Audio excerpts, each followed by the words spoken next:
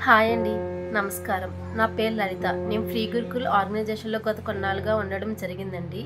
మే మంత్లో నేను hand embroidery class register అవ్వడం జరిగింది. సుజాత మేడం గారు మాకు ఎక్స్ప్లెయిన్ చేయడం జరిగిందండి.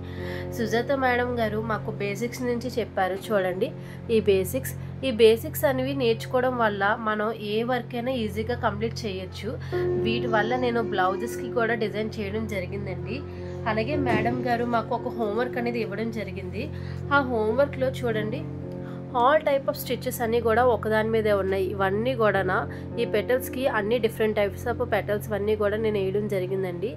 ఈ స్టిచెస్ అని మిర్రర్ వర్క్ కూడా మాకు చెప్పడం జరిగింది. అలాగే మనం కుదిరితే డోర్ కటన్స్ పైన కూడా ఇలాంటి డిజైన్స్ అనేవి మనం వేయొచ్చండి. ఇప్పుడు నా ఓన్గా మేడం చెప్పిన క్లాస్ ద్వారా నేను ఒక బ్లౌజ్ పెయిన్ నేను వర్క్ చేసుకున్నానండి. అది మీకు ఇప్పుడు చూపించబోతున్నాను. చూడండి. ఇది బ్యాక్ పార్ట్ అండి బ్లౌజ్కి. ఇది చూడగలిగిన అందరూ కూడా మగ్గం వర్క్ అని చెప్పేసి అని అన్నారు. ఫిషింగ్ ట ఫినిషింగ్ టచ్ అలా ఉంది మగ్గం వర్క్ లాగా. బట్ ఇది కంప్లీట్లీ హ్యాండ్ వర్క్ అండి. సుజాత మేడం గారికి నేను ఏ విధంగా ట్యాంక్స్ చెప్పాలో నాకు అర్థం కావట్లేదు. చూడండి ఫ్రంట్ పార్ట్.